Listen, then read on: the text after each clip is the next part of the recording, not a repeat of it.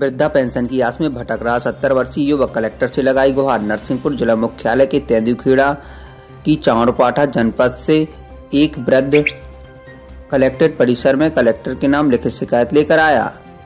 सत्तर वर्षीय वृद्ध ने कलेक्टर से लिखित शिकायत के माध्यम से गुहार लगाई कि उसे वृद्ध अवस्था पेंशन का लाभ नहीं मिल रहा है। कई बार वह ग्राम पंचायत सचिव सरपंच और रोज़गार सहायक को आवेदन दे चुका है। उसने बताया कि वह मजदूरी करता है और मजदूर से ही अपना जीवन यापन करता है। अब सत्तर वर्ष की उम्र में उसके हाथ पाँव ने जवाब दे दिया है और वो काम नहीं कर पाता। इसलिए वह चाहता है कि उसे वृद्ध अवस्था पेंशन मिले जिससे वह हो रही परेशानियों से उसे राहत मिले।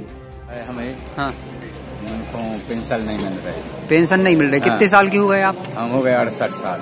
अभी तक पेंशन नहीं मिली? हाँ। और का समस्या है?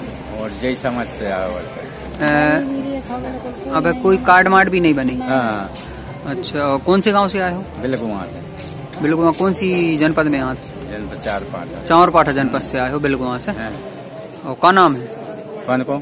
आपको? हमने छोटे लाल नाम। छोटे लाल अच्छा जय के मारे आज कलेक्टर साहब के हाँ। आए थे महीने नहीं मिल रहा है हमको भैया ठीक ठीक दोनों के नहीं मिल हाँ।